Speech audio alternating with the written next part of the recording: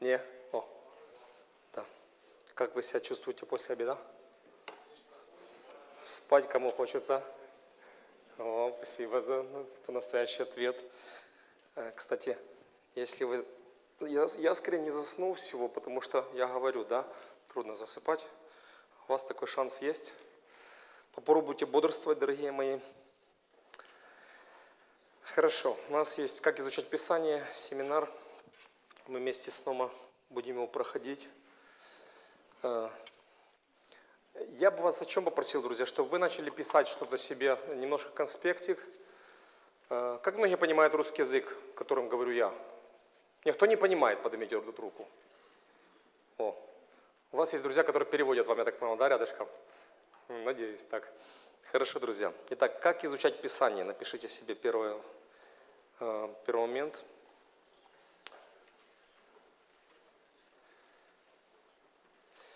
Сразу начну вот с того, что э, э, с заявления основного, друзья. Изучение Писания запишите. Это единственное жизненно важное правило, которое надо нам запомнить, потому что это единственный авторитет, который поможет вам вырасти реально во Христе, друзья. Э, В жизни была стадия, когда поступил в Киевскую богословскую семинарию учиться, и вот приходит мой э, студенческий декан и говорит, тенденция вас, э, братья, всех студентов будет, что вас вдруг Библия может стать одной из книг на полке. Как бы книг много. И вот Библия может стать просто одной из книг, из читаемых книг. Вы можете относиться к ней как к одной из книг. А у нас в то время в библиотеке было 30, послушайте, было 38 томов богословской литературы. Представляете, 38 тысяч томов. То есть это полки просто. И ты целыми днями проводишь в христианском чтении. То есть книги о Христе, богословские труды разные, исторические труды. Но ты должен понимать, что у тебя единственный эталон, вот он, друзья, Библия. Так и напишите, единственный эталон для духовного возрастания и критериев христианской жизни. Это Библия. Это первое, что сказал мой, мой студенческий декан. И сразу, друзья, после того, когда вот он эт- эту вещь сказал, я себе было принято одно жизненно важное решение на тот момент. Я себе принял решение, что я буду читать Библию ежедневно и буду читать ее перед тем, как начнутся все, все, все уроки в течение дня. Э, Вставать приходилось где-то в 5.30 приблизительно утра, но я знал, это цена, которую я плачу, чтобы мне не уйти в богословие, королеву наук, так называемый, не перестать общаться с Богом в чистом виде, потому что именно через Слово Бог говорит с нами, друзья.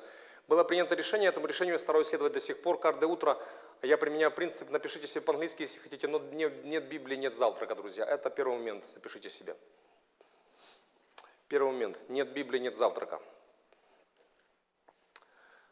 Нет Библии, нет завтрака. Теперь запишите одно важное слово, друзья. Постоянство. Постоянство. Постоянство.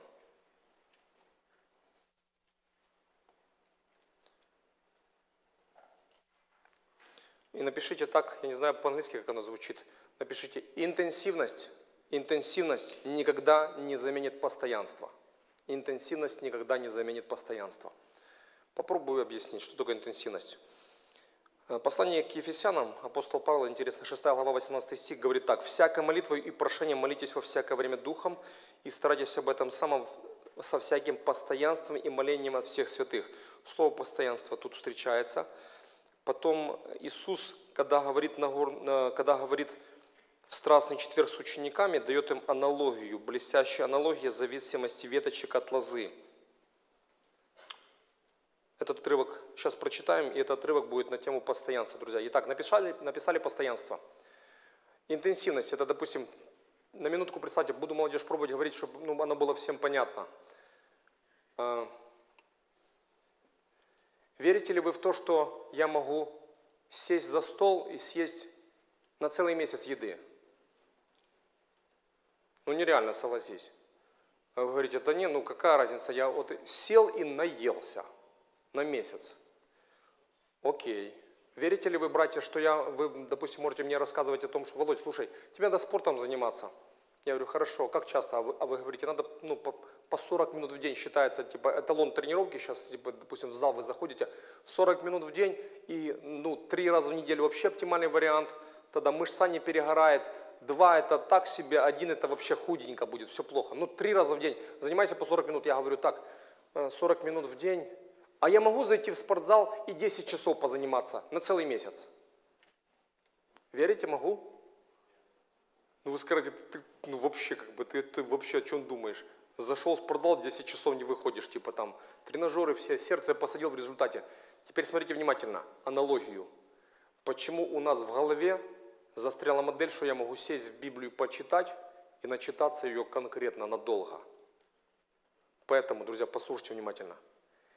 Мы понимаем, что нельзя нагуляться наперед. Правда, молодежь нельзя нагуляться? Как пролетело лето? Щелк нету, да? Нагулялись? Ну, на весь год. Но нагуляться надо. Не получается нагуляться. Надыхаться на полную катушку невозможно.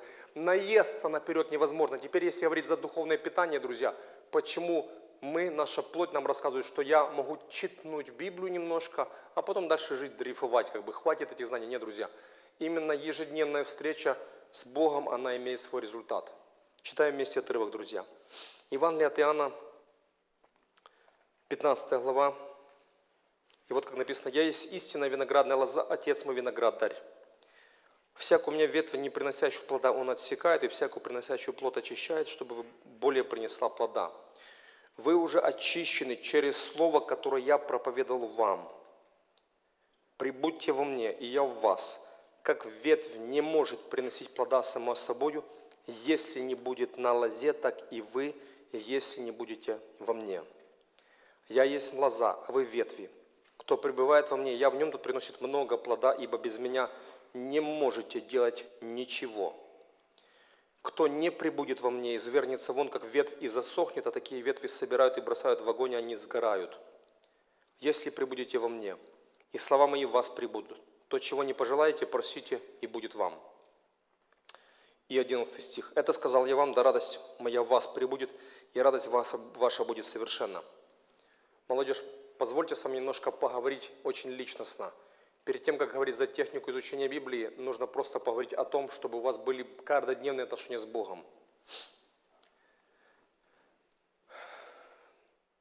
Вот эта ситуация с, с лозой и ветвями, эта ситуация, Христос говорит в Страстный четверг. Послушайте внимательно.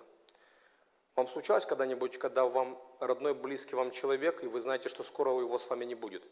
У меня одна моя, моя, однажды умирала моя сестричка, на 7 лет старше меня – Перед смертью мы сидим возле кровати с мамой, и моя сестра мне говорит следующее. Она умирала от рака лимфосистемы. Она говорит, Володя, мама, я ухожу на небо и вас там буду ждать. Это запомнилось, врезалось в память. Теперь послушайте, дорогие мои. Христос в Страстный четверг, накануне своего распятия, в эту ночь его будут распинать. У него нет времени говорить философские течения какие-то. У него есть время фокуса. Надо сказать, самое главное ученикам, чем им заниматься, как мы говорим, молодежь, по жизни, куда себя вложить. И вот о чем он говорит в то время. И теперь на минутку представьте себе, что вы в Страстный четверг, и вы вместе с Христом в тайной горнице. Ноги помыты, предатель определился, Петру предречено отречение. И мы один из двенадцати. Мы вместе с Христом выходим за окружную стену города Иерусалим. Там растут виноградники, долина Кедрон. Виноградники, друзья, виноградная лоза – это не, не плетущиеся растения, кто в Украине помнит, если вы жили, допустим, в таком городе, как Киев, я в Ровно жил, ты думаешь, виноград это до девятого этажа вот такая вот, как лиана плетется, плетущееся растение. Нет, виноградник это невысокое деревце, заканчивается кулаком, метр, метр двадцать ростом. Оттуда идут ветки, выходят ветки. Вот это виноградная лоза. Христос дает эту аналогию, мощную, самая мощная аналогия зависимости – во всей Библии это лоза и веточки. И так рисую, друзья. Потом поговорим про моменты основные.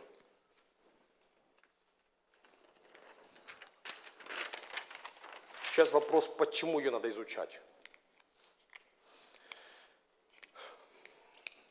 Жизнь таким образом слаживается, что у нас в жизни мы всегда поклоняемся кому-то или чему-то.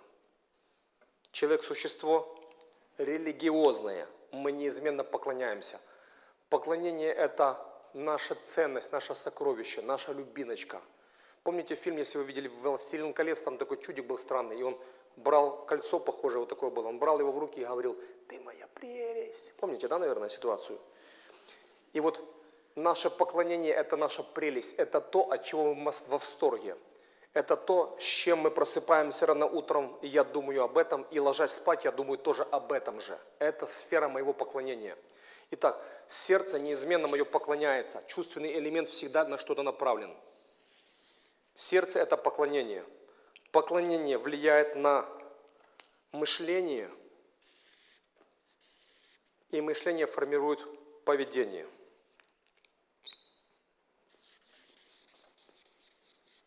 все, что происходит во внешнем мире, все, что произошло вот тут в поведении, вначале было вот тут, вот тут в сердце.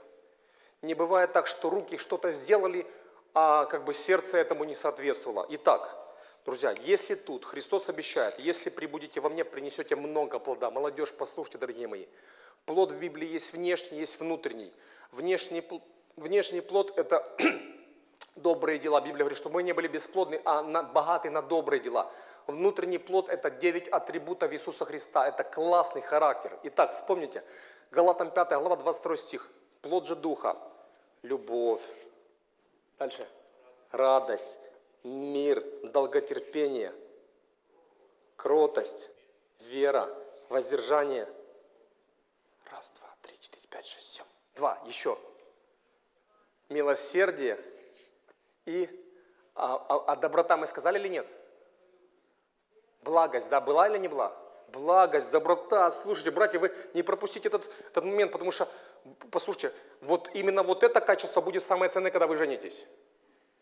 Братья, послушайте, дорогие, а, внешность забудете, вам жизнь с характером. И мой друг говорит, говорит, когда она на меня кричит, я забываю, какая она красивая. Поэтому вот на что фокус вы будете делать. Но чтобы тут были эти плоды Духа Святого, необходимо, чтобы сердце было укорененное в Бога. Человек должен иметь близкие отношения с Богом ежедневно. Христос говорит в этом отрывке, вы уже очищены через что? Через Слово. Третий стих, смотрите внимательно. Вы уже очищены через Слово. Евангелие от Иоанна, 5, 15 э, глава, третий стих. Вы уже очищены через Слово, которое я проповедовал вам. Христос говорит, что чистота сердца зависит от Слова Божьего. То есть укорененность Христа – это когда человек серьезно относится к Слову Божьему, друзья. Его, его жизни Слово Божье – это книга, которая постоянно в ней. Чистка сердца по-другому не, не очистить. Если вы планируете жениться и выйти замуж удачно, это найдите человека, который будет любить Бога больше, чем вас. В результате вы в проигрыше не будете – в противном случае, если вы находите человека, а вам молодежь, послушайте, братики, особенно с вами, если у вас, знаете, как взгляд на жизнь чисто визуальный, знаете, как Лот написано, Лот поднял глаза свои и увидел. И вы тоже можете прийти где-то вот увидеть, и если вы женитесь только на основании внешних, э, внешних качеств человека, то вы в результате получаете чаще всего кратковременное удовольствие и длительное разочарование. Поняли, да? Потому что вам жить не с внешностью, а с характером. Поэтому если вы человек здравомыслящий, вы думаете о том, чтобы жениться на девушке, у которой будут эти качества Духа Святого. Любовь, радость, мир, долготерпение, благость, милосердие, вера, кротость, воздержание. Представь, какая хорошая жена. Но тут ситуация. Короче, в Украине, який їхав, таку здибав. И срабатывает закон магнетизма, и никто не получается, что вам не получится так, что вам подсунули жениха.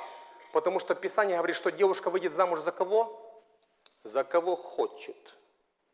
И на основании того, что у тебя в сердце происходит, ты выбираешь себе точно такого спутника жизни. Никто тебе его не подсунул. Поэтому, если вы заинтересованы, сестры, если вы заинтересованы в нормальном муже, и вы собираетесь выйти замуж правильно, вы должны быть озадачены тем, что у вас были близкие отношения с Богом. Потому что подобное привлекает подобное противном случае, если у вас нет ожидания мужа верующего взять, найти, вы будете мечтать иметь принца на коне. И в результате получится только один конь. Пошутим теперь с вами тоже, сестры, чтобы вот как-то уравновесить, баланс был, чтобы, да? Братья дорогие, если вы собираетесь взять девушку, которая считает себя подарком, принцессой, Одно дело, если вы так будете считать, нормально. Но если та, которая считает себя подарком, будет самой большой вашей головной болью. И если вы не имеете близких отношений с Богом, если у вас нет отношений с Богом ежедневно, вы выбираете на основании плоти. Выбор по плоти принесет вам кратковременное удовольствие и длительное разочарование. У вас будет вот такая головная боль, потому что она вам так мозги отклепает, что вам больше ничего не захочется. Извините за это слово, но это реальность. Если не будет плода Духа Святого, не будет его благости или доброты, буквальный перевод, появится тут в результате гордости злость. И вы будете думать, откуда она такая взялась в моей жизни. Только потому, что ориентир был не на сердце, не на близкие отношения с Богом, а просто выбор был по плоти. Человек неизменно поклоняется или Христу ежедневно, или поклоняется идолу. Человек не может не поклоняться. Он существо неизменно поклоняющееся. Чтобы было поклонение, необходимо, чтобы было сначала вникание в Писание Священное. Можно с вами продаю еще одну, одну иллюстрацию, чтобы вас задеть, чтобы вы захотели изучать Библию, друзья. Если мы поклоняемся ежедневно, это значит, что ежедневно поклонение может появиться откуда-то. И поклонение это не когда человека прокачали музыкой. Поклонение у человека появляется на осознании рационального осознания факта, величия какой-то личности. Если я не воспринимаю Бога великим, скорее всего, я буду воспринимать великим себя самого любимого. Понимаете, да, о чем говорю? Чтобы человек начал поклоняться, есть определенная, ну как бы, хронология. Слушайте внимательно, дорогие. Чтобы было поклонение, будет сначала идти информация, потом впечатление, потом признание, потом восхищение, потом поклонение. Запомните эту хронологию.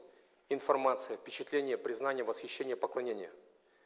Если человек не читает Писание и нет информации о Боге, он в любом случае ищет информацию какую-то. Он что-то питает. В результате на стадии поклонения, если не приходит информация о Боге, если он не вникает в Священное Писание, в результате на стадии поклонения он не будет поклоняться Богу. Еще раз, чтобы человек был поклонником Божьим, а человек неизменно поклоняется кому-то, чтобы он был поклонником Божьим, он однозначно все начинается с того, чтобы изучать Писание. Итак, информация, впечатление, признание, восхищение, поклонение. Стадия вот эта, друзья. В воскресенье бывает, мы приходим в собрание, нам кажется, о, люди поклоняются. Не факт. Представьте себе трех девушек. Зовут их всех Акулина. Акулина первая стоит тут, на собрании нашем. Акулина вторая стоит тут на собрании нашем, и Акулина третья стоит вот там. Акулина первая, мы замечаем в ее, мы, мы слушаем, как она поет, она поет вообще великолепно. И вот она поет вот здесь. Мы понимаем у нее абсолютный слух, идеальный голос. Но нас интересует поклонение, мы знаем, поклонение это не то, что делает человек в воскресном фейерверке – это только вишенька на тортике. Мы знаем, что настоящая жизнь идет среди недели. И у нас есть окно, и мы с Акулиной, с Акулиной нас разъединяет одно окно. И мы так заглядываем в окно и думаем, как же Акулина себя ведет среди недели. Мы что знаем, что для того, чтобы Акулина поклонялась и пела про Бога, надо информация, впечатление, признание, восхищение, поклонение. Мы понимаем, что должна быть встреча с Богом ежедневно, читать Слово Божье. Но мы замечаем Акулину только вот тут, в воскресенье. Итак, мы смотрим, Акулина встала утречком, потянулась, привела себя в порядок, умылась, там что-то рисовала себе, что-то там клеила, там одевалась, переодевалась, опять переодевалась, опять одевалась, а потом она нырнула в социальные сети, провела в Инстаграме там полчаса, как залез, залезла туда, вылезти, вылезти не смогла почти, потом надо было ей бежать на работу там, или на учебу, там она с подружками потусовалась, и вот, вот так прошел весь день, вечером она пришла, любимый сериал просмотрела и легла спать. А в следующий день она еще на спевку пошла, а потом опять вот такой же ход жизни, и опять на спевку пошла. Но нас интересует что?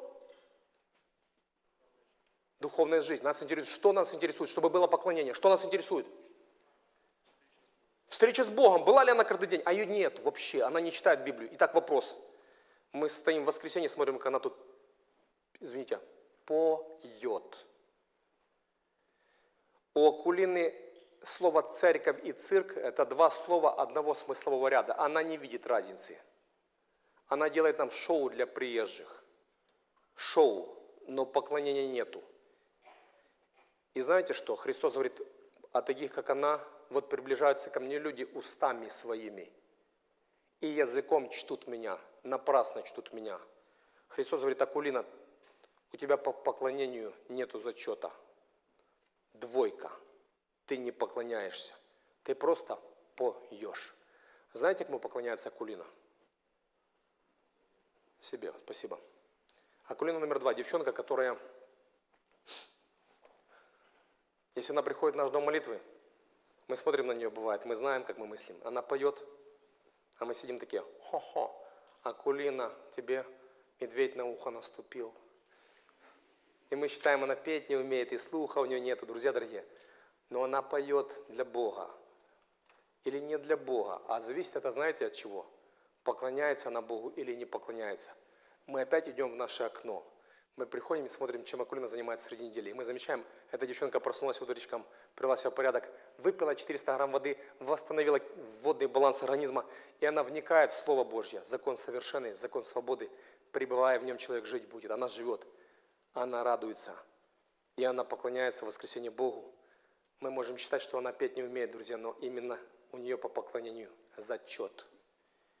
И девчонка номер три, Акулина, которая поет в третьем ряду здесь, и мы смотрим на нее, думаем, ух, а как она интересна. И мы замечаем, она петь умеет, и слух у нее хороший. И мы смотрим опять, чтобы понять, поклоняется ли она Богу, нам надо посмотреть за ней среди недели.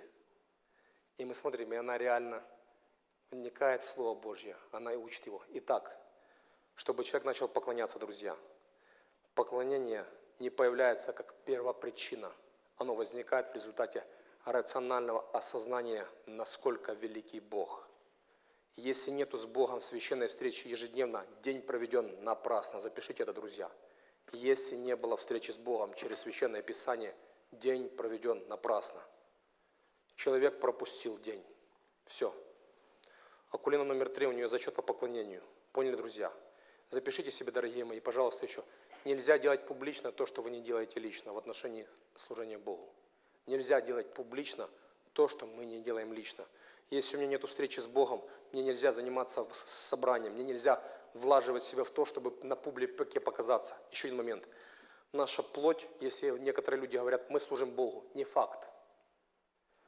Плоть нигде лучше себя не чувствует, как прийти на сцену в воскресенье и где-то занять какую-то позицию. Вот так, вот так, в любом ракурсе, вот там, вот там, вот там, где угодно – плоть хочет поклоняться себе и заливает фундамент для своей гордости в любом служении. Если не будет встречи с Богом, если не будет поклонения Богу, друзья, человек поклоняется, как правило, себе. Поклонение направлено на наше самое большое сокровище. Слово английское worship, украинское слово захопление или русское слово, которое эквивалентным будет, это восхищение. Мы от кого-то всегда в восторге. Итак, запомните этот момент. Тут Христос, когда говорит с учениками, записали вы слово постоянство, друзья. Смотрите внимательно. Он дает нам слово, чтобы появились здесь хорошие плоды, чтобы у вас было будущем, послушайте, братья и сестры, я знаю, о чем сейчас мы думаем. Мужики, мы знаем, я знаю, о чем вы думаете. Сестры, я знаю, о чем вы думаете тоже, не переживайте, я знаю. У меня растут дети тоже, все нормально, да. Но фокус в этом всем, знаете, как, чтобы у вас выбор спутника жизни не перекрыл весь горизонт. Вот что важно. Поэтому сосредоточенность на близких отношениях с Богом. Если это у вас будет, и именно это будет самоцелью, а не выйти замуж или жениться самоцель, то тогда в результате вы, друзья, у вас появляется благочестивый характер, друзья. Многие люди ищут влюбиться, а Бог говорит, живите в любви. И когда вы с Богом в близких отношениях, у вас появляется плод Духа Святого, любовь. И вот что Христос говорит в этот страстный четверг. Он дает нам слово он говорит, вы очищены через Слово. Слово Божье чистит наше мышление. Если брать сердце наше, в первоочередном варианте, знаете, о нем есть реальность. Библия говорит, что лукавое сердце человеческое более всего и крайне испорчено. Это, это книга Иеремии говорит о нашем сердце. Оно хуже помойки нету, чем наше сердце. Оно два, два, написано о нем две реальности. Первое, оно лукавое – Слово в иврите, означающее запинающее, оно всегда обманывает нас, дурит ежедневно. И второе, крайне испорчено. Крайне испорчено – это буквальный перевод «неисцелимо больное». И вот Христос говорит, что очистка сердца идет только через Божье Слово, друзья. Поняли, дорогие мои? Только через Божье Слово. Христос дает здесь слово интересное, четвертый стих «прибудьте во мне». Дальше он говорит, Прибудете, пребывайте, пребывайте, прибудете. Слово прибудете, напишите пребывание во Христе. Пребывание во Христе приведет к плодоношению. Вот это слово пребывать. Перевожу его в жест, друзья. Слово пребывать переводится вот так. Вот. Запомнили? Слово пребывать, греческое, греческое слово переводится жить, быть, находиться поблизости и стойко держаться. Очень сильное слово, друзья. Слово очень колоритное, насыщенное. Жить, быть, находиться поблизости, стойко держаться. Слово пребывать, оно, э, ветхозаветнее слово прилепиться. Слово, которое говорит о близких заветных отношениях. Бог говорит, должен мужчина прилепиться к жене своей, станут одной плотью. Должен народ прилепляться к Богу своему. Так Библия говорит о слове прилепиться. И Бог запрещает прилепляться к какому-нибудь идолу. А идол – это все, что твори, творение может быть, любой идол может быть. Извините, пожалуйста. Итак, слово «пребывать», вот оно, «прибудьте во мне». Дальше есть одно слово такое, четвертый стих, заметьте, написано, не можете, не может ветка сама собой приносить плод. Не может. Дальше написано, пятый стих, без меня не можете делать ничего. Слово не можете, попробую объяснить тоже, друзья. Представьте себе, что опять вы, акулины уже остались тут в зале, и мы думаем, надо еще посмотреть на в окно. И мы смотрим в окно, и в окне стоит автомобиль, очень крутой автомобиль, там, я не знаю, а, с объемом, объем двигателя 6,7 литров, то есть очень мощный автомобиль. И вы думаете, слушай, спрашивайте у людей там типа, а что он там стоит? А что он там стоит, никуда не А что он там стоит, никуда не ездит? Толку от этого автомобиля никакого. И вам по секрету кто-то отвечает. Он там стоит, потому что у него нет одного, одной составляющей, главной, топлива нету силы, могущей его двигать. И вот Христос говорит, без меня не можете делать ничего. Слово не можете, друзья. По плоти можно что-то сделать. Выйти замуж по плоти, жениться. В результате получаете проблему в квадрате. Первая проблема началась с того, что я Бога не искал. Вторая проблема от того, что я неправильно нашел человека. Слово «не можете» греки употребляли слово греческое «дунамай», Греки его употребляли, слово оригинальное означает женщина, которая не может родить ребенка. Ей ставят статус бесплодие. Мужчина, у которого семя выходит мертвое, он не может зачать ребенка. Статус бесплодие. Слово не можете употребляли, если человек садился на инвалидную коляску, потому что у него был поврежден спинной мозг. Центральная нервная система не работает. Христос говорит, не можете. О чем мы сейчас говорим, друзья дорогие? Если у вас нет близких отношений с Богом, если вы не читаете Библию ежедневно, друзья, грош цена всему христианству. У нас будет просто маскарад воскресный. Если нет встречи с Богом, а личное отношение с Богом – это критерий христианства. Христианство, по сути, это не религия, это личные отношения с Богом. Вот что важно нам запомнить, друзья. Тут два обещания дает Христос нам, когда идет речь о Библии. Если мы в Слове Божьем пребываем, друзья, в результате плоды Духа Святого есть. Но это классно все. Но особый момент отметить хочу тут, чтобы вы его не забыли, друзья, чтобы вы его не забыли. Христос обещает, если будем мы в нем пребывать, обещание есть очень сильное здесь. Седьмой стих. «Чего не пожелаете, просите, будет вам». Вы думаете, что, что серьезно? Все, что попрошу, будет. Это, ну ничего себе.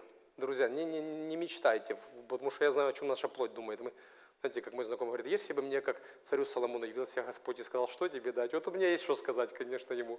Нет, друзья, послушайте, идет речь не о прихотях наших, идет речь по, по контексту о плодоношении. Результат будет такой. Христос здесь говорит, если прибудете во мне, пожелаете, просите, будет вам. Помните, Библия говорит, утешайся Господом, и Он исполнит желание сердца твоего. Буквальный перевод «наслаждайся Господом, и Он исполнит желание сердца твоего». Но желание – это не самоцель. Первичный момент должен быть наслаждение Богом, а потом желание сбывается. Библия так и говорит, желание боящихся, его он исполняет. И вот обещание, Бог говорит, я буду отвечать на молитву. И второе обещание классное. 11 э, стих, смотрите внимательно, молодежь, послушайте внимательно. Одна деталь – реальность, реальность о нас. Мы, молодежь, современное поколение, вы живете ежедневно, знаете для чего? Послушайте внимательно для того, чтобы получать удовольствие. Это реальность. Хотя вы можете сказать, что это не так, но я вам говорю, это так. Мы ежедневно живем ради того, чтобы получать радость. Вспомните в течение дня, сколько вы вещей делаете для того, чтобы получить что? Чтобы почувствовать вот этот вау, драйв, как бы, знаешь, как, чтобы порадоваться. И речь идет о настоящей радости. Заметьте, 11 стих Христос говорит, если будет вот это, если будет близкие отношения с Христом, то Он обещает, что будет радость. Причем какая радость тут написана? Совершенная. Совершенство – это эталон. Нечего прибавить, нечего убавить. Очень важный момент. Он обещает радость. Теперь еще один момент. Итак, вот он, плод Духа Святого, радость.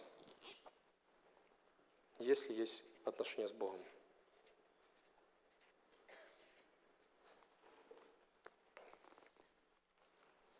Если вы не получаете радость от отношений с Богом, друзья, вы будете пытаться радость получить от кого? Ну, от ближнего своего, понятно? Все же логично. Если вы не получаете радость по вертикали, друзья, если не будет отношений с Богом, вы будете стараться получать радость по горизонтали. И всякий раз будете возвращаться с пустыми руками. Я еще раз напомню, если у вас нет отношений с Богом, нет вертикали, вы будете пытаться получить радость по горизонтали, и всякий раз будете возвращаться с пустыми руками. Единственный вариант, который предпочитает сегодня молодежь, это получить радость с помощью химического пути. Наркотики, алкоголь – это временная попытка получить радость. Еще можно шоколада наесться черного, гормон радости или счастья, серотонин можно получить. Тоже временно. Но Христос обещает радость совершенную. Теперь смотрите внимательно. Если Христос говорит, что радость – это Его плод, и мы понимаем, что у человека ее взять нельзя, то смотрите внимательно. Теперь, вы женились на девушке, и у вас не было отношений с Богом, и вы не читали Слово Божье, вы не любите Слово Божье, друзья. И не говорите, что нет времени на Слово Божье, да? Знаете, как говорил когда-то классик, на все, что ты любишь, у тебя есть время. Запишите, кстати, это выражение, пожалуйста. На все, что ты любишь, у тебя есть время. Когда человек говорит сегодня, что нет времени читать Библию, ложь. Ложь, друзья. На все, что ты любишь, у тебя есть время. Это правда. Итак, если я не получаю радость от отношений с Богом, в результате я за радостью иду к ближнему своему. Если вы, братики, женитесь, вы будете ходить за радостью к жене, будете говорить, миленькая, дай мне радость. Давай, весели меня. Как моя знакомая говорит, кружите меня, кружите меня. Вы придете и скажете, милая, давай мне радость, жена, дай мне радость, дети, дайте мне радость. Вы будете кричать на детей, на жену, потому что они вам не могут дать то, что у них просто нету.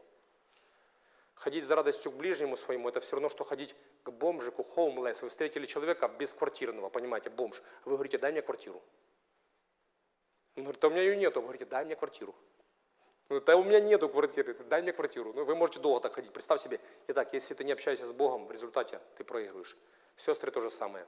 Если вы не общаетесь с Богом, за радостью будете ходить к своему мужу. И он не может вам дать то, что может дать только Бог.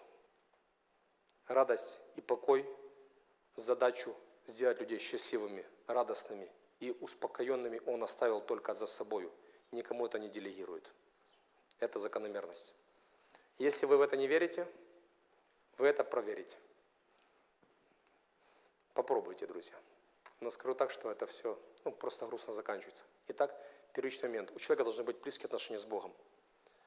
У нас есть слово, итак, постоянство. Второе слово запишите, пожалуйста, друзья.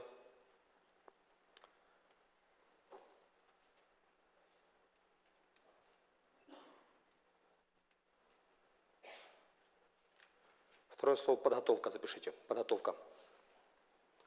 Подготовка к чтению Слова Божьего. Если мы хотим грамотно ее изучать, друзья, нужно прежде всего подготовиться к ней. Э, давайте мы обратимся к 2 Петра, 2 глава, 1 стих.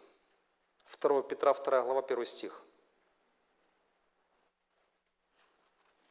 2 Петра, 2 глава, 1 стих.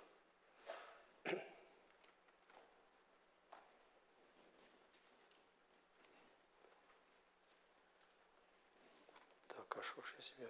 А, извините, 1 Петра, 2 глава, 1 стих, да, спасибо, братья. 1 Петра, 2 глава, 1 стих. Во втором стихе, интересно, Петр говорит, что Слово Божье нужно изучать, изучать, чтобы возрастать. Помните, да? Итак, Петра, 2 глава, 1 стих у нас есть, друзья. Итак, отложив всякую злобу и всякое коварство, и лицемерие, и зависть, и всякое злословие, и дальше, как новорожденные младенцы, возлюбите чистое словесное молоко, дабы от него возрастило во спасение. У кого из, в зале из людей, из людей есть дети? Поднимите, пожалуйста, ручку. У кого есть детки? О, да. Короче, да, у меня есть четверо детей.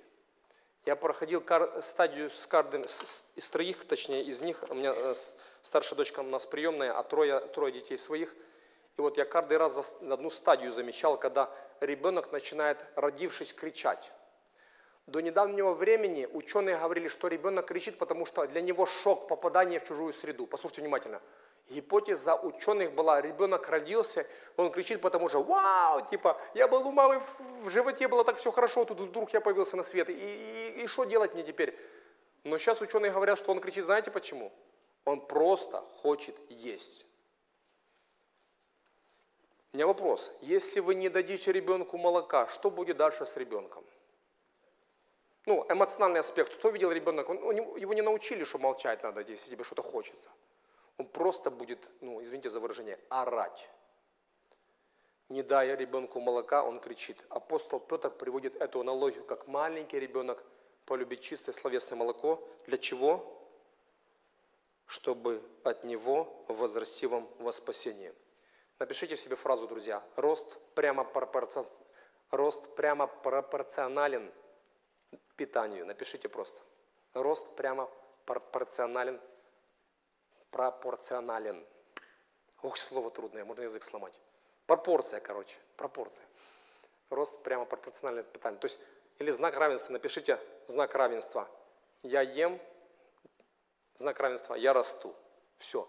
В духовном питании то же самое. Мой когда-то тренер, я занимался спортом постоянно, он говорил так, у него было выражение, сон и обильное питание – залог физического воспитания. Но перед тем, как изучать Писание, заметьте, у нас сейчас в каком мы принципе находимся, друзья? Как принцип называется? Подготовка, друзья. Поэтому подготовка. Заметьте, с чего начинает апостол Петр перед тем, как говорит нам, что надо нам расти и надо питаться. Заметьте, что он говорит. Отложив всякую злобу и всякое коварство, и лицемерие, и зависть, и всякое злословие. То есть, Петр говорит иными словами, прежде чем полюбить словесное молоко, следует убрать в сторону все пороки. О чем нам это говорит, друзья?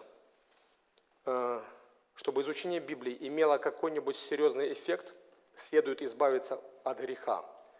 Напишите «утилизация греха». Термин «утилизация». Я не знаю, как на английском он звучит. Понимаете ли вы это слово? Наверное, понимают ну, многие люди, да? Утилизировать грех. Вот почему Библия следует начинать читать Библию, друзья, начинать надо читать с молитвы и исповедания грехов. Напишите, Библию следует начинать читать с молитвы и исповедания грехов. В течение дня там очень много мусора насобирается. А, Ежедневно нас давят много обстоятельств разных. Мир дает свою картинку, сердце обманывает, А, к собственные похоти приходят друзья. Лукавый использует два канала воздействия, наше сердце и мир, который нас окружает. И чтобы нам начать подходить к Слову Божьему, чтобы Слово Божье пришло в нашу жизнь, друзья, надо утилизировать всякие грехи. Начинайте с исповедания. Библия говорит, первое послание Иоанна, 1 глава, 9 стих написано так. Первое послание Иоанна, 1 глава, 9 стих. «Если исповедуем грехи наши, то Он, будучи верен и праведен, простит нам грехи наши и очистит от всякой неправды». То есть приходить надо к Слову Божьему, друзья, придите в чистоте, попросите, Боже, очисти меня, освободи. Я прошу все время, знаете, о чем? Боже, освободи меня от моего сердца греховного. Освободи меня от всякой предвзятости. А у меня много предвзятости есть. Мое сердце меня обманывает, дает картинку будущего неправильно. Она, оно искажает реальность, друзья. Поэтому с исповедания начинается подготовка, подразумевает очищение. Э, То же самое говорит Иаков, 1 глава, 21 стих. Иаков, 1 глава, 21 стих. Напи- Написано так. «Посему, отложив всякую нечистоту и остаток злобы, в кротости примите наслаждаемое, насаждаемое слово, могущее спасти ваши души».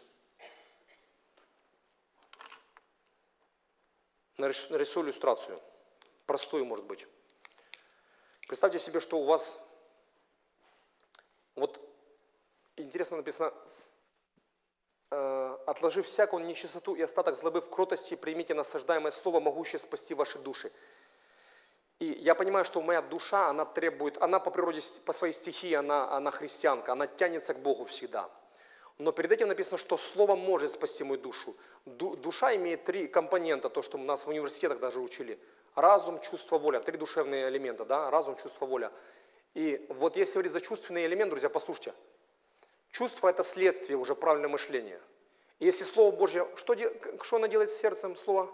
Мы только что прохо- проходили. Чистит, правильно? Но если Слово Божье не приходило в мою жизнь, я начинаю потихонечку себе ну, набираться груза проблем. Приходит в мою жизнь как- какая-то информация, допустим, вот вы сейчас там э, развиваетесь, и в будущем вам замуж выходить, жениться, и вы вдруг услышали, что подружка вас где-то предала, там, рассказала то, что вам не хотелось, чтобы она рассказала, и ты думаешь, опа, и тебе на голову одна проблема пришла уже. Ну и ты думаешь, так с этой проблемой можно и жить уже. И типа нормально. И потом думаешь, ничего страшного, проживу как-то. И ты ходишь дальше, но что ты делаешь с проблемой? Ты же ее об- обсмактываешь, думаешь, там, пошел, пошел, включился. Все ресурсы памяти включились. Она избирательная, творческая. Потом еще там где-то тебя обманули, где-то. Ты, тебе еще что-то на голову там. Раз, и ты думаешь, так, так, так. Две. Ну, уже привыкать начинаешь, две проблемы. У кого-то вот так две будут тут, тут, да, если, может быть, да, во время супружеской жизни. И послушай, и тебя будет много предательства разного. И люди – это люди. Если ты разочаровываешься в людях, знаешь только почему? Потому что неправильно богословие. Очень легко жить человеку, у которого правильно с богословием. И теперь напишите одно выражение. Женщине нужны мозги, а не какие-то изюминки и загадки. Запишите. Да, я серьезно это, сестры. Женщине нужны мозги, а не какие-то изюминки загадки. И теперь еще, еще один момент, что-то еще в жизни произошло, и она бедненькая вот. Представляешь, такая ходит. И еще вот такая вот ходит. И это все, и тебе, как с этим тебе всем жить? И однажды ты, может быть, ходишь некоторое время, но ты понимаешь, что этот весь балласт на тебя давит. И вот однажды приходит момент, и ты бух, и все, и ты разбилась. И сидишь, ты собираешь это все в кучу, оно не собирается. А знаешь только почему? Потому что эти все наслойка твоих головных болей пришла проблем. Только потому, что ты что не сделал? Не было кротости принять насаждаемое слово. Чтобы слово в твою жизнь приходило, чтобы ты полюбил слово, необходимо одно качество – кротость. Кротость – это качество противоположно гордости. Когда мы не читаем Слово Божье, знаешь, признаки своей гордости в чем можно увидеть? Гордый человек, он не читает Божье Слово. Напишите себе, друзья, гордый человек Божье Слово не читает. Эдемский сад, вспомните, что было, да? В Эдемском саду появилась точка зрения, что мы можем жить по своему усмотрению. Теперь мы выбираем суждение, что правильно, а что неправильно. Напишите качество гордости, друзья. Гордость – это мировоззрение автономии от Бога. Всегда, когда мы не, не вникаем в Божье Слово, это значит, гордость пошла в мою жизнь. Гордость пошла в мою жизнь. Второй момент, друзья. Третий, третий пункт напишите теперь. Чтение. Чтение, да. Для того, чтобы Библию изучать, надо ее читать, друзья. Напишите, надо читать. Просто, напиши, просто читай Слово Божье. Просто читай Слово Божье. Если ты читаешь Слово Божье, возможен вариант аудиозаписи Нового Завета, Ветхого, слушать можно их тоже. Библия что говорит о, о- о- о вере? И римляне, э, послание римлянам говорит так, 10 глава, 17 стих. Итак, вера от слышания, слышание от Слова Божьего, да. То есть продукт вера – это следствие того, что вера от слышания, слышание от Слова Божьего. То есть элемент слышания может тоже присутствовать. Если вы помните новозаветные христиане, первые, они вообще, они больше на слух ориентировались. Потом у нас появляются рукописи уже. Поэтому э, мы живем в поколении, поколение, которое называют аудиалы, но я бы назвал это поколение чуточку по-другому клиперы. Мы хотим все коротко, быстро, как бы и кучу информации сразу. Вот это наше. Мы даже не любим проповедь слушать, которая там 40 минут. Мы хотим типа за 3 минуты все получить, да? Но теперь момент, друзья, послушайте. Слово Божье должно прийти в мою жизнь однозначно. Если я не читаю, я должен слушать. Но выбирайте именно, э, именно читабельный формат. Теперь немножко с вами поговорим вот о чем, друзья. Что вы выбираете? Какой вариант чтения Библии? Можно с вами честно поговорить, хорошо? Вот этот вариант или вот этот? Плюсы и минусы. Ну, тут плюс, конечно, он всегда в дороге у тебя с собой. Классно, да? Классно. Тут какие плюсы? Тут его в дорогу тоже можно взять. Тут плюсы, типа, как бы, знаешь, ну, можно сохранить, скопировать, типа, другу послать. Ну, не факт. Но давай немножко поконкретнее. Вот это инструмент, напишите, единофункциональный. Так и напишите. Это инструмент единофункциональный. Единофункциональный. Тут ты только что можешь делать? Только читать Библию, правильно? А теперь я вот эту штуку открываю. Напишите. Инструмент под названием гаджеты состоит из трех слов. Инструмент под названием гаджеты состоит из трех слов. Поняли, да? Да, именно так он называется. А теперь вы взвесьте, сколько он у вас украл времени, и вы понимаете, что это правдивое название. Это инструмент единофункциональный. Мы написали, да? А это инструмент многофункциональный. Тут бывает залез читать Слово Божье, друзья. Начал читать Слово, потом где-то думаешь, у вас есть такой всегда риск ежедневно залезть в социальные сети, кто вам что написал? Нет? Только я один такой? Володя, грешный ты человек, слушай. Вы как-то реагируете вообще или нет? Бывает что-то, да? Вы не привыкли. Народ, народ Божий, но реальность такая, что я знаю борьбу каждую, которую, которую наше поколение миллениалов проходит, да? Наше поколение сосредоточено на своем «я», поколение миллениалов, их больше волнует получить там 250 лайков в Инстаграме. Вот это зачет крутой, да? Итак, это инструмент многофункциональный и крадущий время, друзья. Вот в этом инструменте можно начать с Библии, а закончить, извините, братья, многие, я помню, рассказывал братья, говорит, начал читать Библию, а закончилось порнографией. Вот это наша страшная реальность, друзья. Поэтому написали мы это, в это слово, надеюсь, написали, да?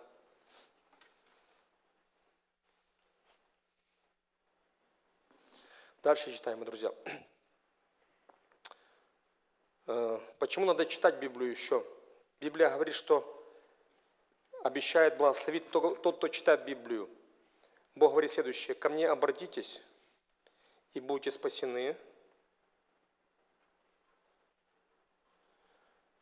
Бог обещает благословить тех, кто послушает. Откровение 1 глава 3 стих написано так. «Блажен читающий и слушающий слова пророчества этого».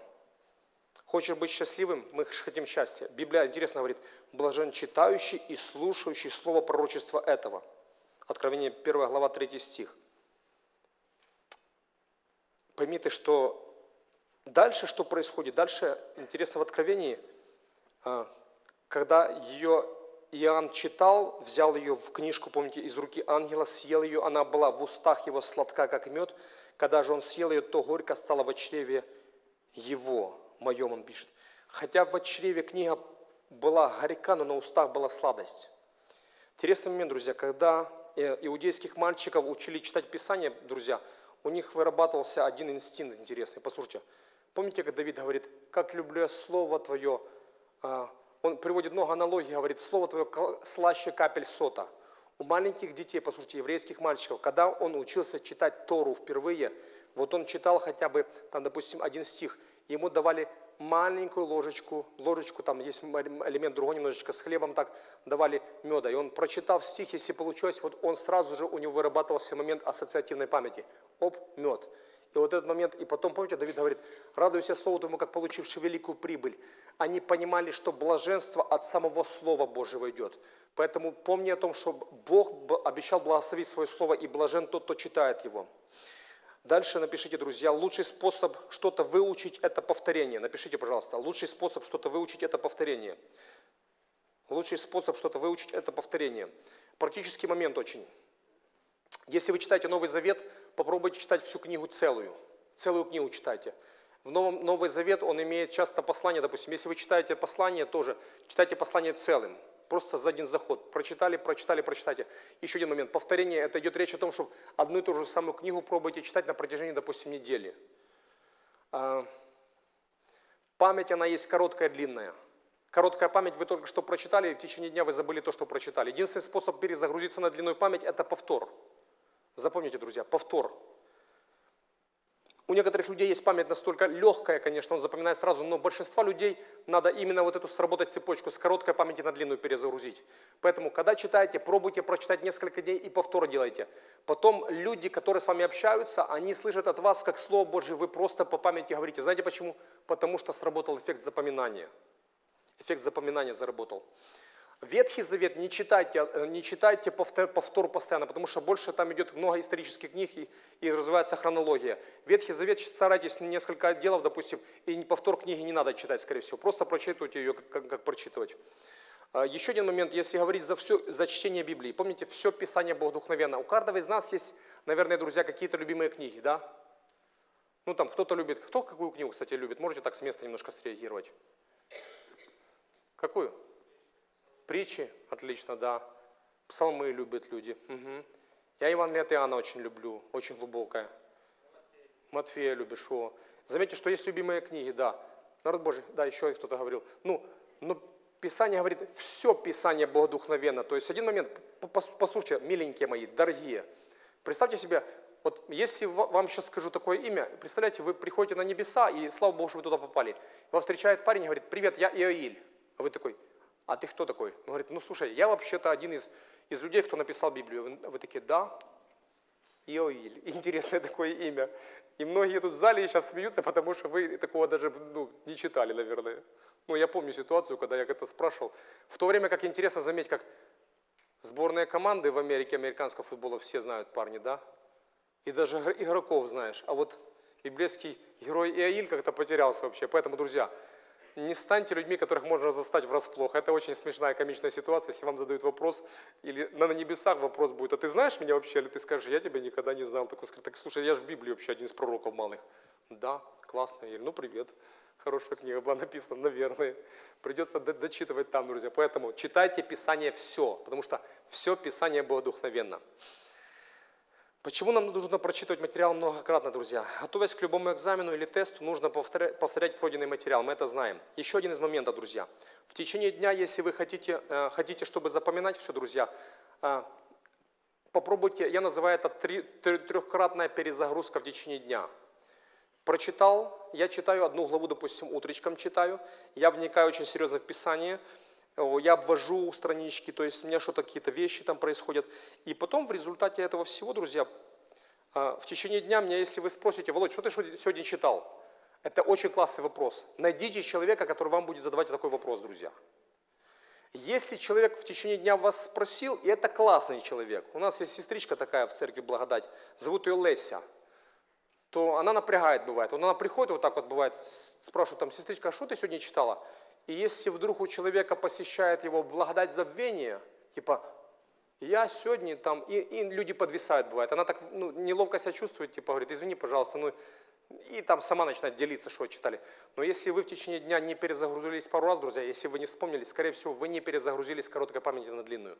Но если прочитав Слово Божие утром, а именно утреннее время, потому что работает принцип нет Библии, нет завтрака, no Bible, no breakfast. Если вы читали Слово Божие в течение дня делайте трижды перезагрузка. Очень простое правило возьмите себе. Возвращайтесь к этому тексту три раза в день. Возвращайтесь к нему. Мы идем дальше. Теперь напишите слово «изучение». Итак, у нас было постоянство, была подготовка, было чтение, теперь изучение –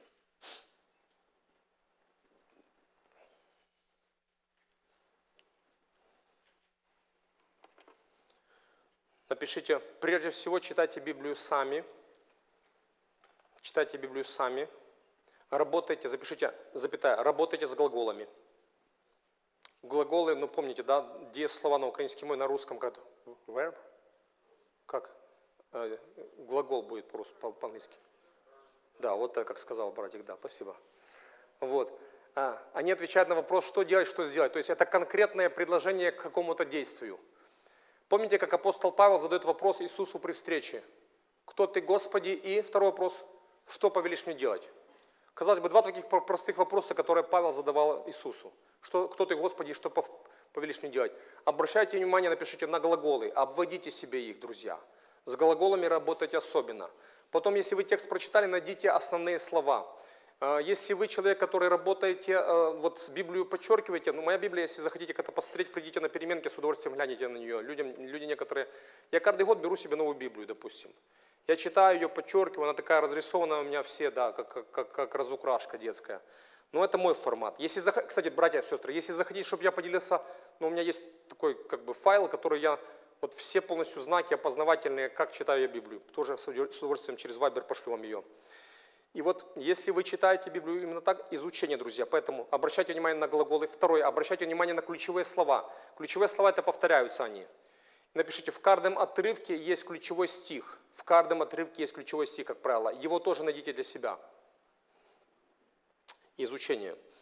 Если вы поработали Словом Божьим, друзья, еще момент какой практикую бывает. Если вы готовитесь к чему-то, вы хотите изучить отрывок, бывает берешь просто стих, прочитаете его несколько раз, и потом я останавливаюсь и пробую, послушайте внимательно, я называю «надеть костюмчик на себя». Что это значит?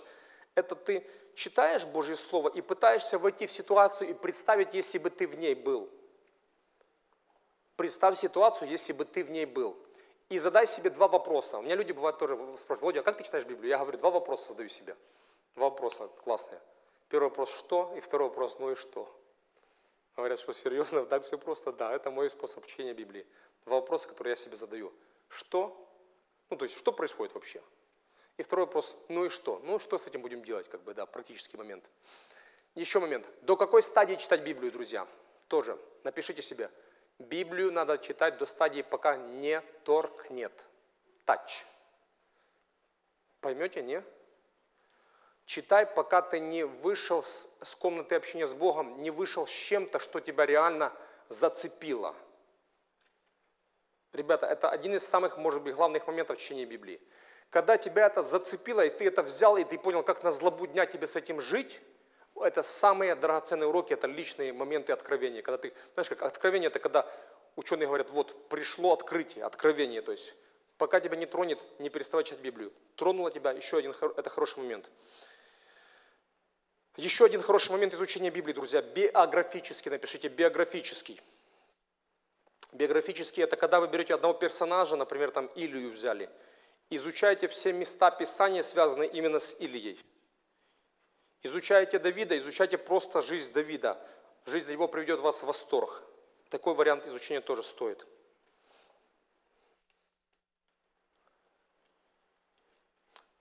Еще один из моментов относительно изучения. Подражайте какому-то примеру. Найдите человека, чему примеру вы хотели бы следовать. Найдите кого-то наставника, на кого вы хотели бы хоть немножко равняться.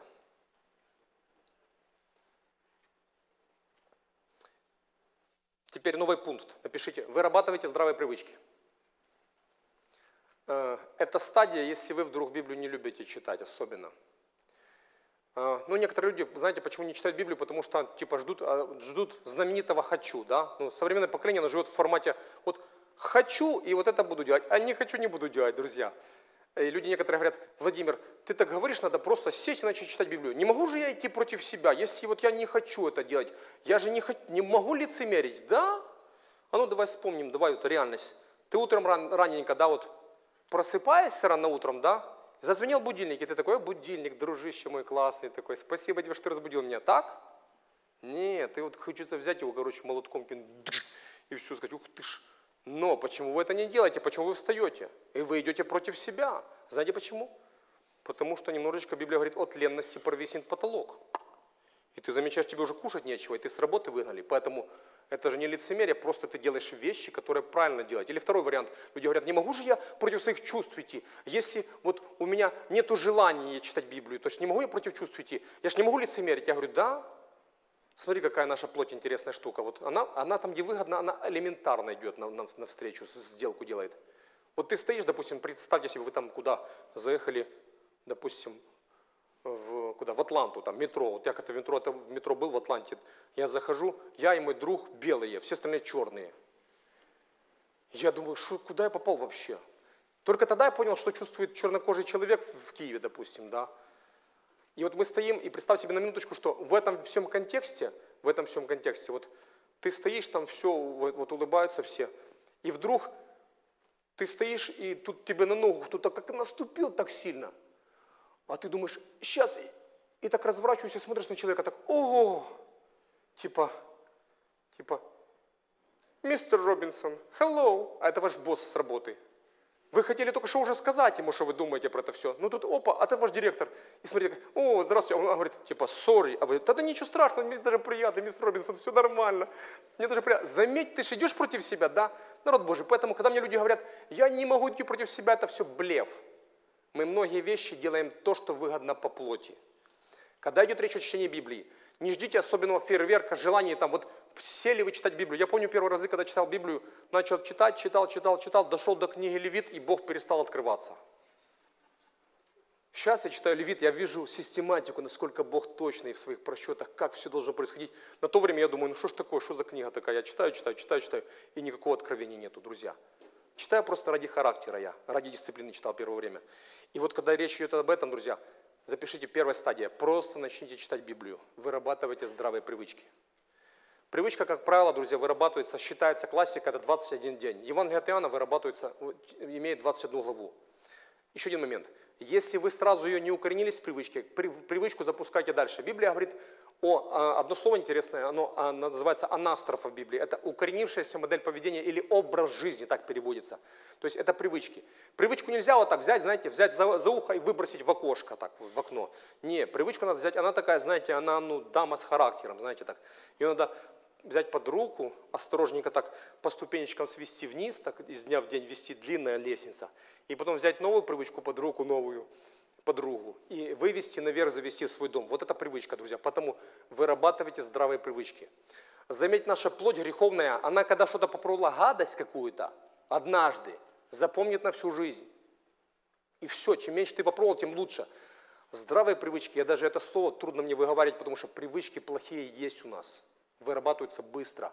А вот что-то доброе, когда мы хотим вырастить огород, надо культивировать, а разные растения с латинскими названиями плетущиеся сами размножаются, кто огородом занимался когда-нибудь. Поэтому здравая привычка читать Библию, друзья, потихонечку вырабатывайте ее. Еще один момент, который хотел бы сказать, что очень важно, друзья. Подотчетность. Напишите себе слово подотчетность. Подотчетность. Там, где, кстати, изучение Библии, последним пунктиком можете написать, это э, пробуйте читать комментарии, комментарии, но это уже после немножко того, как вам Бог дал личное откровение. Если вы, конечно, проповедник, но, скорее всего, вы были бы в том зале, там, где учат сейчас ну, серьезный момент, мы проходим такие базовые вещи, которые нам, каждому христиану, простому надо. Комментарии вы читайте, если уже что-то непонятное, и можете почитать. Комментарии, которые рекомендую, бывает, это МакАртура комментарии, Библия с комментариями МакАртура – Далласская семинария очень крутые комментарии выпустила. Трезвое мышление, в принципе, да. Вот. Э, эти комментарии, они Библия Лапухина неплохая, допустим, с комментариями есть. Комментарий стоит, ну, когда Бог дал вам уже личное откровение. Теперь подотчетность. Подотчетность, что она дает, друзья? Подотчетность, э, допустим, Библия говорит вот о чем. Стараемся о добром не только перед Богом, но и перед людьми. Некоторые люди говорят, ну как это я буду я ж хожу перед Богом, только перед Богом, самое главное. Но Библия говорит, старайся о добром не только перед Богом, не только вертикаль учитывая, но и горизонталь. В моей жизни есть, допустим, друзья, послушайте, есть люди, которыми я очень дорожу. Это подотчетность. Э, э, напишите термин «начни» или, или «начни» или «будь членом D-группы», D-групп, группа discipleship. Что она дает? Она дает подотчетность.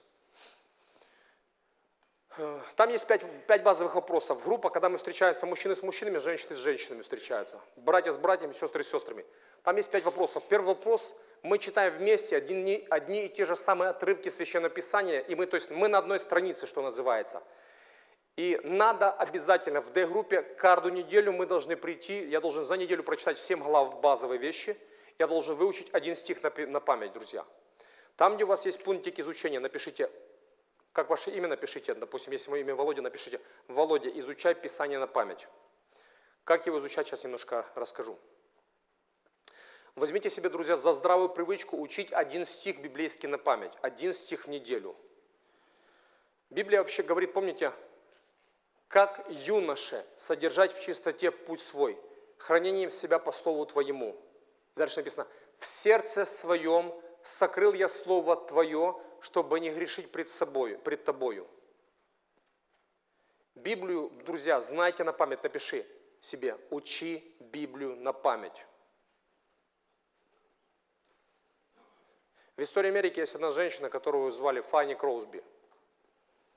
Она написала 9 тысяч псалмов, знаменитых гимнов, среди них такие гимны, как «Твердо я верю», «Не проди Иисус меня ты», «Людям, блуждающим путь укажите». Звать ее Фанни Кросби, слепая поэтесса. В возрасте двух недель поставили диагноз неправильно и дали неправильное лечение. И так к одному году она была полностью слепая. Когда ей было 15 лет, она поступила в учреждение для слепых. В 15 лет она начала учиться в Нью-Йорке. После того написала 9 тысяч псалмов и песен, и она была слепая поэтесса. Она была первая женщина в истории США, которая выступала перед Конгрессом США. Когда ее спросили, ты злишься на доктора, что написал тебе такое предписание? Она сказала, нет. Знаете ли, первое лицо, которое я увижу, будет лицо моего Спасителя на небесах, слепая поэтесса. Так слушай внимательно. До 10 лет, в возрасте 10 лет, эта девчонка, будучи полностью слепая, выучила весь Новый Завет на память и большую часть книг Ветхого Завета в 10 лет. В 10 лет. 10 лет. И в этой Д-группе подотчетности Фанни Кроусби, да, 95 лет ей было, когда умерла она, друзья. В 10 лет она знала все Писание на память, друзья. Если захотите, просто исследуйте, какая она была знаменитая женщина. Она, когда у нее спрашивали, ну, в результате чего такая популярность, она говорила, всем, кем я стала, я благодаря Библии стала. Это ее был подотчетность, друзья. В первой стадии подотчетности, когда мы собираемся группой, зачем нужна подотчетность? Послушайте внимательно, родненькие. Подотчетность нужна для того, чтобы в нас проверяли. Напишите себе вот что. Э, человек охотнее делает то, в чем его проверяют, чем то, в чем ему доверяют. Серьезно, напишите это, пожалуйста, друзья. Человек охотнее делает то, в чем ему, его проверяют, чем то, в чем ему доверяют. Охотнее. То есть нам нужен со стороны человек, который будет наблюдать. Тот, который спросит, как твои дела, как твои отношения с Богом. В этой D-группе мы проходим первая стадия. Как твои отношения с Богом и стих на память. Это вертикальный вопрос. Вопрос горизонтали. Если вы не женатики, как твои отношения в семье с ближними? Проявлял ли ты практическую любовь и уважение к своим родителям? Вопрос третий. Вопрос личной святости – Какое было самое сильное искушение среди недели? Как ты его прошел? Не смотрел ли ты чего-то аморального по телевизору или интернету? Не пил, не курил, не дрался, не матерился? Вопрос четвертый. Рассказывал ли ты Евангелие и как это было? И вопрос пятый. Сказал ли ты нам память? Сказал ли ты нам правду? Вот эта подотчетность нам такая подотчетность необходима просто. Итак, мы прошли здравые привычки, мы прошли многие вещи, которые надо пройти. И последнее, что хотел бы сегодня просто поделиться с вами, это опыт Мартина Лютера. Опыт Мартина Лютера. Он писал молитвы, друзья. Это последнее, это просто один момент, который моделька, э, чтобы вы могли его себе практиковать. Вообще в жизни отношения с Богом классно иметь какие-то модели. У меня есть пару моделей. Модель скини отношения с Богом. Есть модель левой руки – когда я молюсь. А есть модель Мартина Лютера. Он писал молитвы, друзья. Итак, модель Мартина Лютера, мы ее закончим. Первый вопрос. Когда он, он читал Библию и молился на основании прочитанного, друзья, напишите себе, пожалуйста, эту модель. Он читал Библию и молился на основании прочитанного. Итак, первый вопрос, который он себе задавал. Прочитал Библию, он писал себе так, за что я могу поблагодарить Бога? Это после прочитанного. За что я могу поблагодарить Бога? Первый вопрос его был. Он писал, реально, он читал Библию, вот Мартин Лютер, вот так Библия была, а так был блокнот. Прочитав Библию, он писал себе молитвы свои, записал. Писал, за что могу поблагодарить Бога, и писал, о чем он может помолиться в благодарность. Второй вопрос у него был, о чем могу попросить прощения? О чем могу попросить прощения?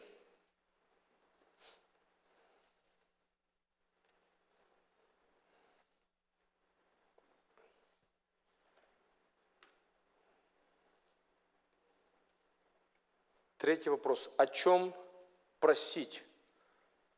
Просто о чем просить? То есть в скобочках напишите на основании Божьего обетования.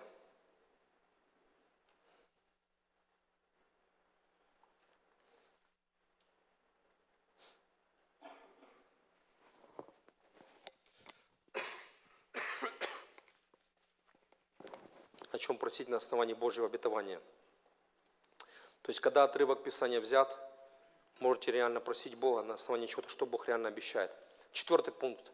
Что нужно применить сегодня? Что нужно применить сегодня? Это прямое Божье откровение, что Он хочет от меня.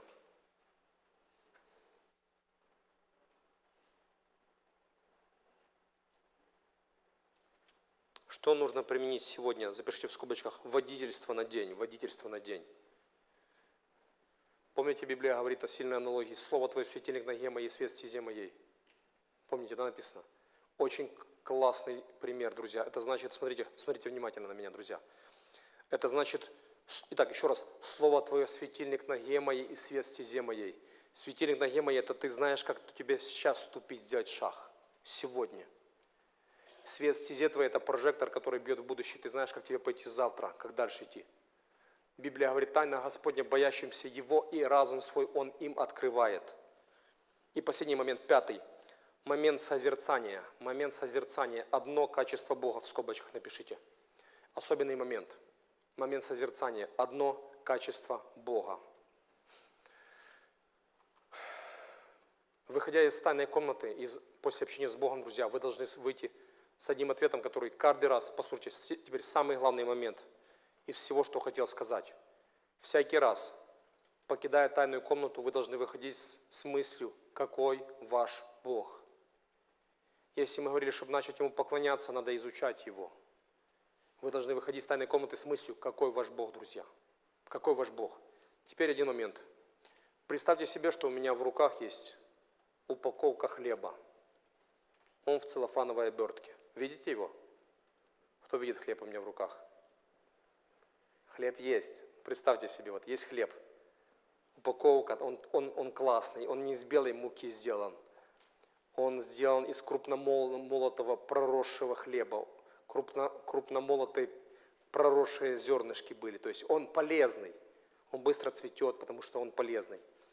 И вот он идет в целлофановой упаковке. И если бы я вам сказал, хлеб вкусный, вот он Слушай, с пророщенных зерен, крупномолотый, он полезен реально. Тут все компоненты есть. Это тебе не белая мука, это полезно.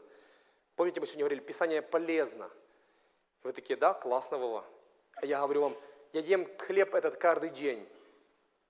И вы такой, хорошо. И вы пришли, друзья, взяли домой упаковку эту, целлофан есть сверху.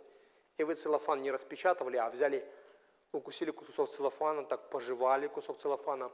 Сказали, Вова говорил, что хлеб вкусный. Странные вещи Вова говорит.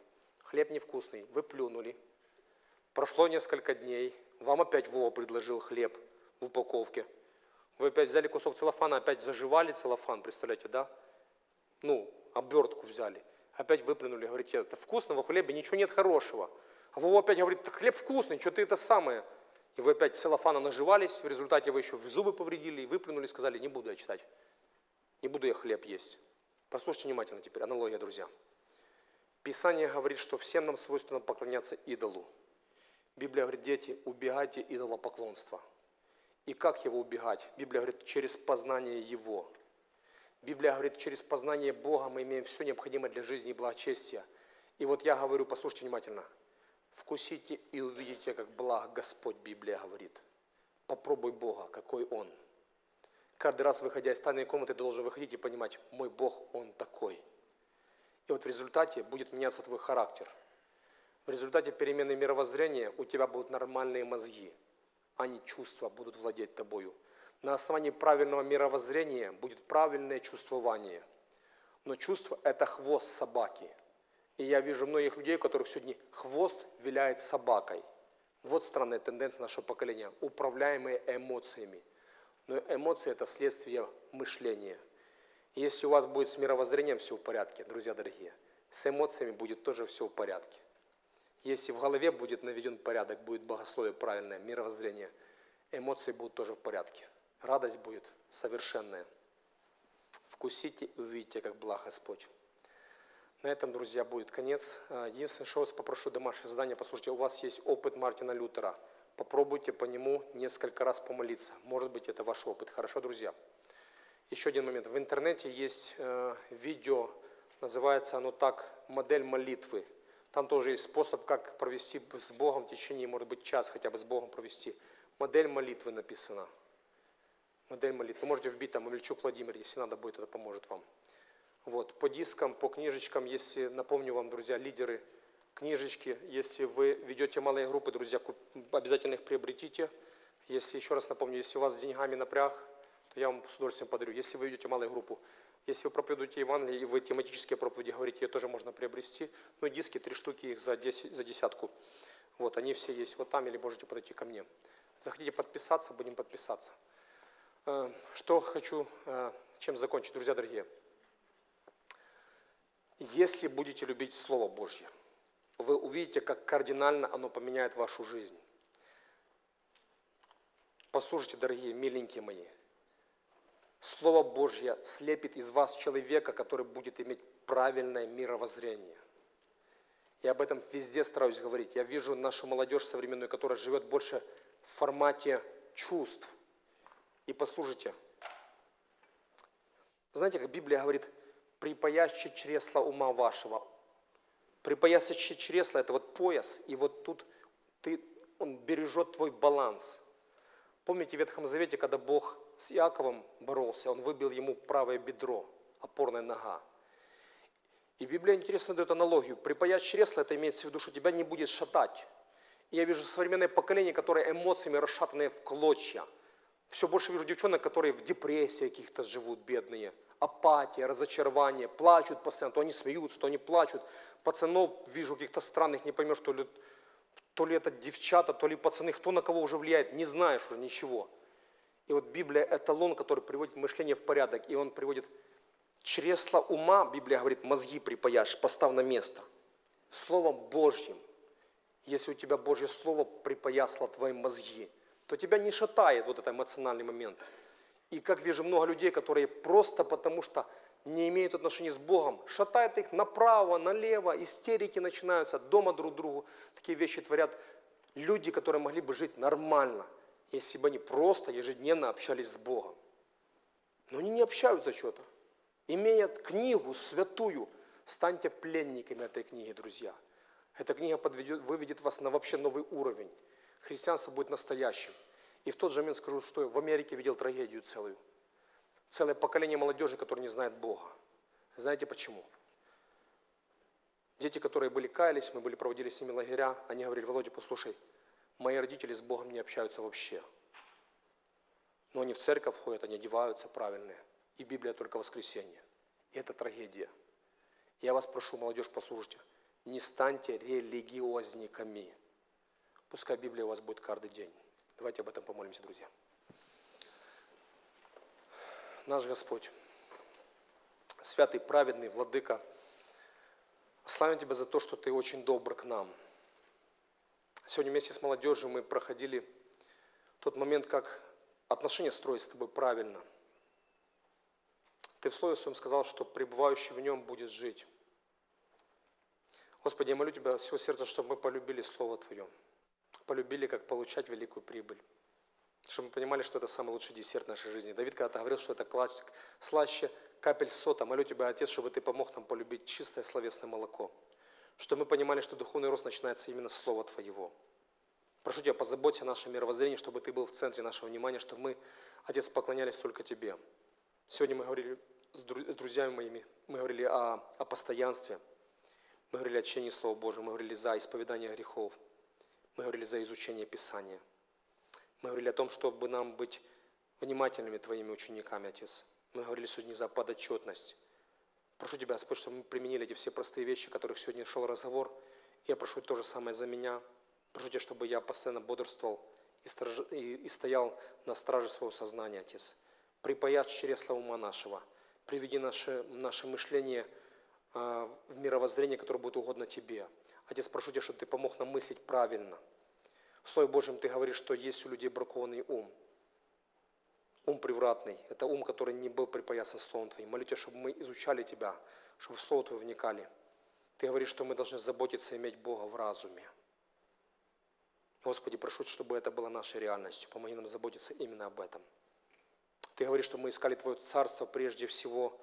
Ты говорил, что все это приложится нам. Проси нас, что мы пошли искать приложение и забыли искать Тебя. Прошу, прости нас за это, Отец. Молю Тебя за молодых людей тут в зале находящихся. Прошу Тебя покаяние для многих из них, кто не вникает в Слово Твое. Прости нас, что мы религиозные очень, Отец. Прости нас, что мы за формой гонимся, и так мало сути христианства. Меняй нас, Отец, изнутри. Даруй покаяние тем, которым нужно оно сегодня. Просим Тебя, это, Отец, во имя Иисуса Христа, Отец, просим. Аминь.